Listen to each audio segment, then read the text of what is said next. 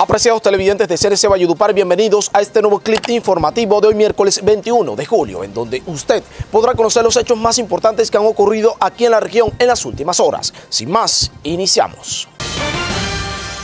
En Chiriguaná, Cesar, se registró un atentado contra el empleado de Drummond y miembro de la Junta Directiva del Sindicato de Trabajadores de la Minería Nacional, Ricardo Rojas Daza, quien salió ileso gracias a que el vehículo asignado por la Unidad Nacional de Protección en el que se transportaba es blindado. La Drummond condenó el atentado y exhortó a las autoridades a indagar sobre este hecho.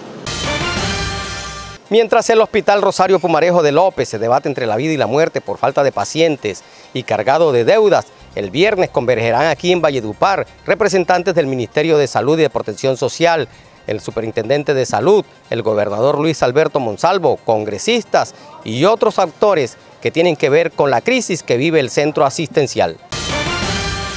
En el municipio de Agustín Codazzi se exigirá carnet de vacunación contra el COVID-19 para ingresar a diferentes eventos masivos. Aquellas personas que quieran eh, hacer parte de toda actividad folclórica, recreativa, cultural, religiosa, deportiva que se realice de este momento en adelante a que porten su carnet de vacunación.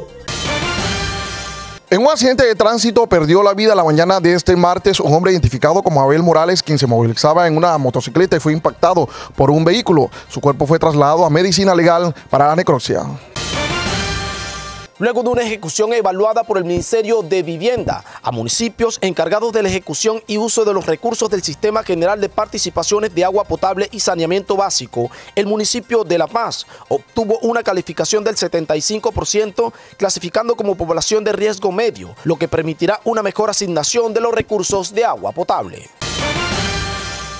Un centro asistencial de Valledupar falleció un joven identificado como Luis Alfonso Arrieta Castellón de 18 años de edad, el cual fue colisionado por una motocicleta en el sector de la variante del municipio de Codazzi de Cesar. Su cuerpo fue trasladado a la morgue de medicina legal para la necropsia.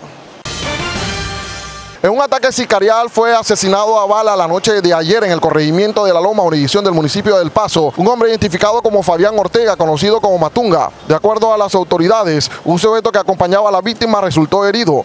Se conoció que el locizo tenía antecedentes judiciales y recientemente había salido de la cárcel. El alcalde Mello Castro de Valledupar inauguró obras de pavimento en el barrio Bellavista. La comunidad reiteró que llevaba 30 años pidiendo el mejoramiento de esta vía No nos traían. El artista de música vallenata Jay Cardona nos presenta lo que será el Tour Vallenato original.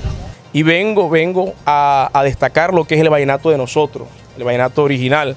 ¡Ay no! Voy a mencionarte chiquita